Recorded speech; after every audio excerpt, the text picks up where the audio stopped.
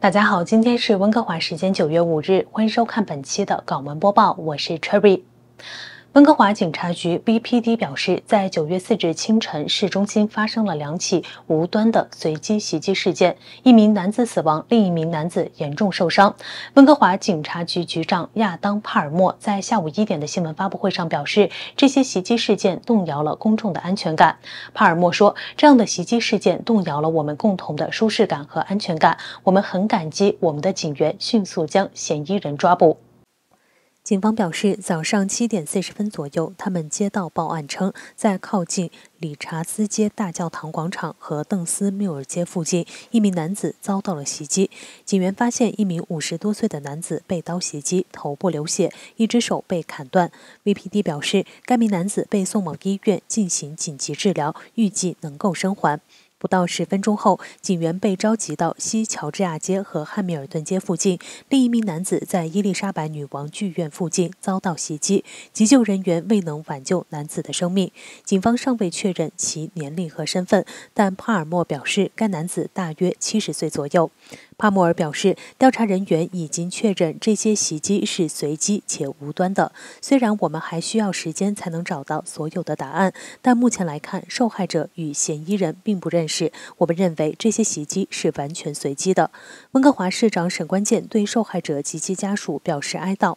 并对事件的震惊感到不安。他说：“这种事情在我们的社区发生，令人深感不安。” VPD 声称，嫌疑人是一名三十四岁的白石镇居民，已被拘捕。帕默尔表示，调查人员正努力向 BC 省检察部门提出严重指控。警方尚未公布嫌疑人的姓名，因为他尚未被指控。帕默尔称，此人似乎问题重重，他有多次与精神健康问题相关的事件，导致在大温哥华地区有超过六十次与警方的记录接触。帕默尔还透露，嫌疑人此前有过攻击罪的前科，并且在被捕时正因2023年的一次攻击指控处于缓刑期。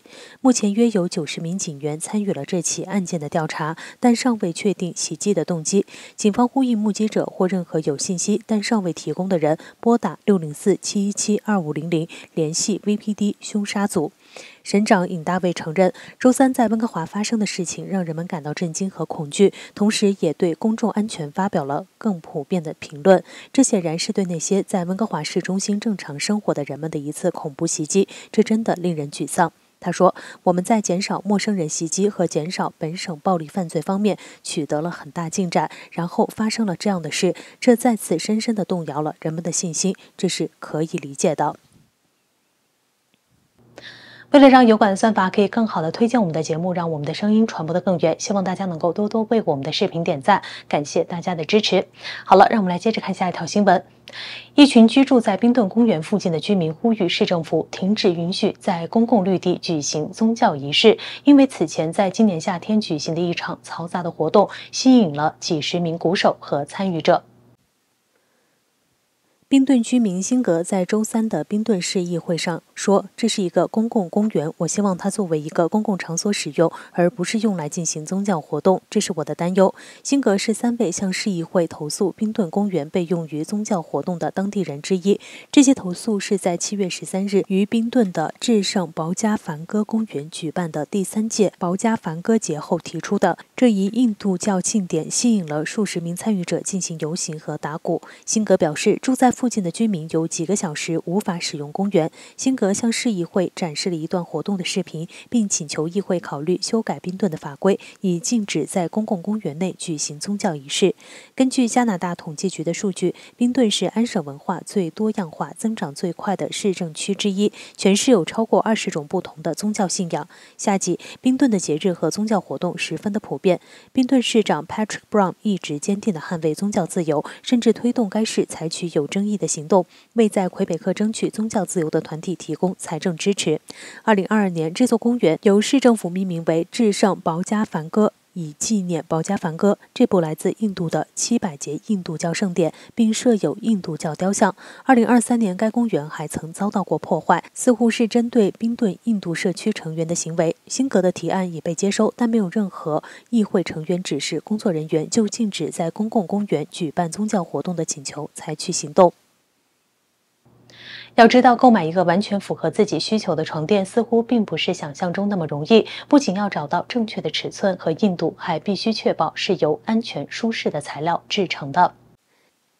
现在有一名网友声称自己从 Costco 购买的床垫使他们患上了疾病，引发了网友们的激烈讨论。事情是这样的，TikTok 的网友 House of Lola 在几个视频中解释说，自从使用了 Costco 购买的记忆泡沫床垫后，他就出现了一些奇怪的症状。据他描述，这款床垫的品牌是 Blackstone。在整段视频中，他谈到了因睡在这款床垫上而出现的各种症状。我一直有一种感觉，就像在坐过山车一样，这非常令人难受。因为我的精神一直很紧张，任何一点声音，任何一点小事都会吓到我。他解释说：“我猜我的皮质醇水平非常的高，这让我感到非常非常的奇怪。令人沮丧的是，在这一切发生之前，我曾经很喜欢锻炼，但当我经历这一切后，我几乎连绕着街区走一圈都感到很费劲，很快就会气喘吁吁，心跳加速。”有几次，我觉得自己几乎要昏过去了。视频的最后，他建议那些使用记忆泡沫床垫、枕头或其他记忆泡沫产品。并出现类似症状的人们，也要先弄清楚这些产品是否也导致他们出现了这类问题。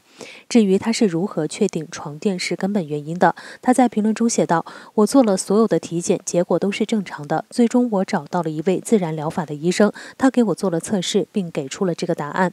此外，他还描述了测试是如何进行的。医生给我做了脉搏测试，同时使用了一个记忆泡沫枕头。脉搏测试包括检查脉搏的特性。”例如脉搏速度，以确定可能的健康问题。他还表示，医生之前也曾遇到过因床垫出现同样症状的患者，因此他在办公室中放了一个记忆泡沫枕头。我拿着枕头，他测试了我的脉搏，我的心脏反应很大。对于这件事，网友们也是议论纷纷。在评论区，很多人分享了自己对他经历的看法。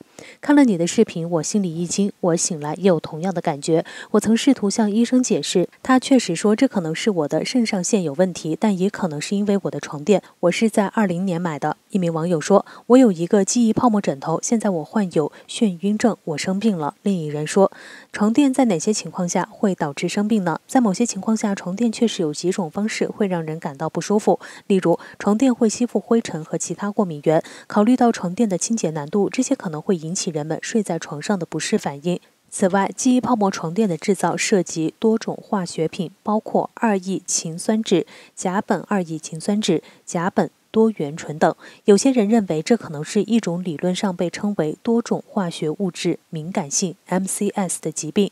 虽然它目前尚未被认定为一种医疗状况，但对于患有 MCS 的人来说，接触美容产品、清洁产品或汽油尾气等物品中的化学物质都可能引起不良的反应。此外，其他一些问题也可能导致这种症状，例如贫血、高血压或处于绝经期等。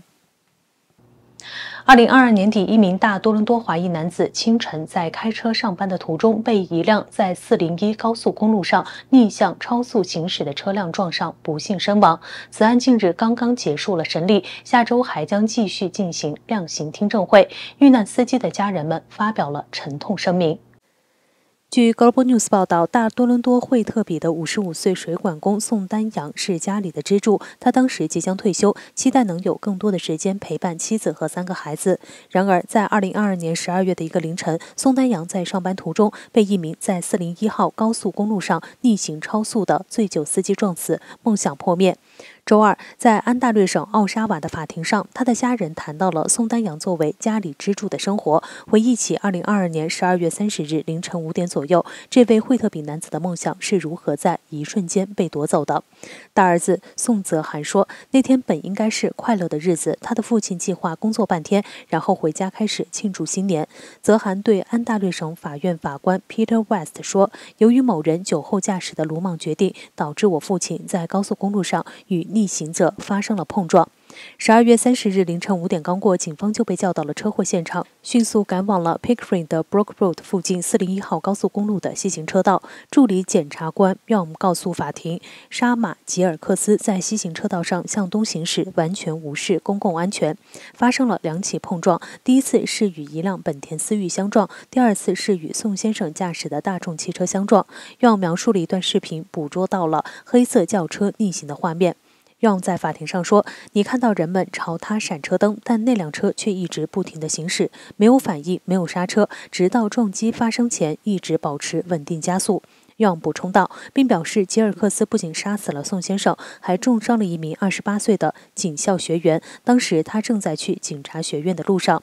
现年二十七岁的吉尔克斯今年五月承认酒驾致人死亡、酒驾致人身体伤害和危险驾驶致人死亡的三项罪名，用建议判处八年监禁，并告诉法官 West，加重处罚的因素包括吉尔克斯驾驶方式的极度危险。他说，吉尔克斯从 Liverpool Road 驶入匝道向东行驶，他的血液酒精浓度为每一百毫升血液一百四十毫克，而法定上限是八十。吉尔克斯的律师约瑟芬·巴尔达西最初建议判处缓刑，称他的当事人是一个年轻的初犯，他已经认罪并承担了自己的责任。他还说，他对这一事件深感懊悔。在法官 West 告诉他在这种情况下缓刑的判决是不合适的之后，巴尔达西表示四年的监禁是合适的。量刑听证会将于下周继续进行。宋先生的孩子们和他们的母亲表示，他们将重返法庭寻求正义的伸张。我的心里非常的愤怒和怨。恨为什么我的家人没有做错任何事，却要背负这样重担一辈子？沙马吉尔克斯，我永远不会原谅你的所作所为。爸爸，我们都爱你，我们非常想念你。宋的女儿 j 莉在法庭外读着她的受害人影响陈述书，说道：“好了，以上是本期港湾播报的全部内容，感谢大家的收看，我是 Cherry，希望大家能够多多为我们的视频留言点赞。那让我们下期节目再会。”